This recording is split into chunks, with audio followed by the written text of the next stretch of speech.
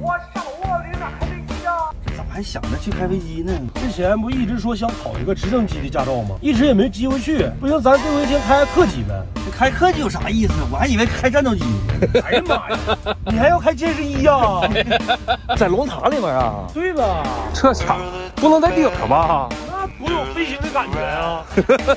真上天了，这个漂亮啊！这就是咱哈尔滨机场所有的全貌。航站楼呗，前面那块就是跑道。咱每回接送人是不是从这上去？对呀，这不就是那个小坡吗？这交警可多了。走啊，先把衣服换上吧。刘刘半天，穿个厨师，兄弟，你是真抬衣服呀？大牌毁灭者，就有点不行啊，太小了。战争怕哪有开飞机，都当厨子去了。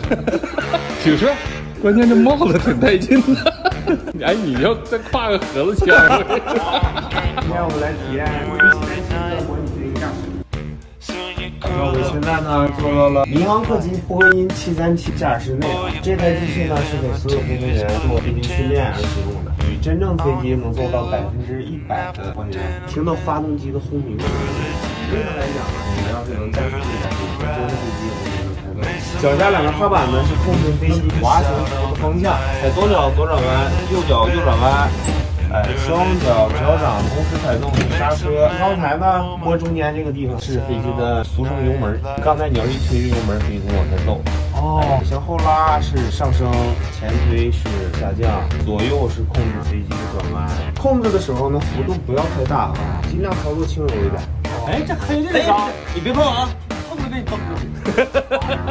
还是对呀。说起来，我们今天飞个迪拜的机场试一试，速八马枪，整整一下子。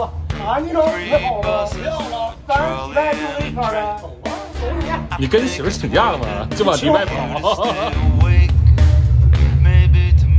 转弯的时候不要踩到刹车啊，注意看好前方。现在走的还挺直的啊。好，来准备啊，起飞，开轮，拉杆，啊，再拉，看前方。哎，低头稍带着看点仪表啊，我们。对，来副驾驶轮，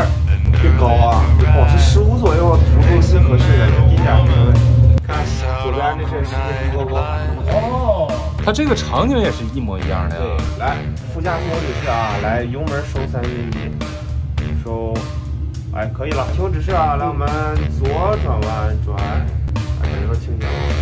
嗯，哎，幅度别太大啊，转转。来来个梦子，三条给我来一块儿。午夜你必须得给我来一块儿啊！你瞅瞅，我高兴。我就说说注意吧，你住哪儿配你。